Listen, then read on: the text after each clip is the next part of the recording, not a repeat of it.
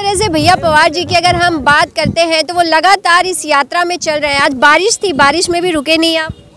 हमारे नेता राहुल जी नहीं रुके तो हमारा रुकने का सवाल नहीं उठता। जब नेताजी इतने बारिश में चल रहे हैं ठंड का सामना कर रहे हैं तो हम कार्यकर्ता कैसे पीछे रह सकते हैं?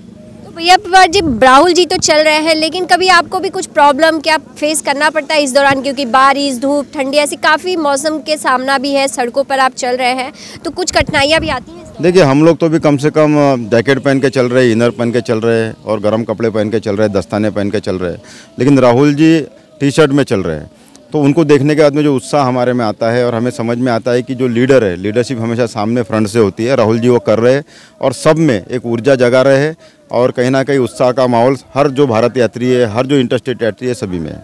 कितनी खुशी है आज आखिरी पड़ाव पे है आप? बहुत खुशी है। जल्दी ये यात्रा खत्म होने के बाद में घर जाने को मिलेगा, उसकी भी एक खुशी है। दूसरी खुशी है कि जो इतना बड़ा प्रण राहुल जी ने लिया था, वो संकल्प कहीं ना कहीं, वो संकल्प कहीं ना कहीं यहाँ पर आ जाके उसका एक एक, क्या बोल सकते हैं टप्पा पार होने वाला है स्टेप खत्म होने वाली है। तो खुशी की बात तो है, लेकिन साथ ही साथ राहुल जी के कहे अनुसार कि ये सिर्फ़ शुरुआत भर है, आने वाले समय में और भी इस पर बहुत काम करना बाकी है। क्योंकि ये तो सिर्फ़ लोगों के साथ में बात करते हुए, लोगों में जो देश में माहौल है, वो उनसे बात सुनना था, लोगों की बात, मन की बात तो राहुल जी करते नहीं है, लोगों की बात सुनते हैं। और पूरे देश में जहाँ से कन्याकुमारी से चले, यहाँ तक लोगों से उन्होंने बात की, वहाँ के लोकल इश्यूज़ की बात की, उनको जो रोज़मर्रा की ज़िंदगी में जो प्रॉब्लम आते हैं उसकी बात की। जनता सात आठ सालों से कितनी त्रस्त है, लोगों ने खुद होकर खुल खुलकर बात की। तो ये सारी चीज़ें उन्होंने भी जानी और आने वाले समय में उसके ऊपर और बहुत काम राहुल जी करेंगे।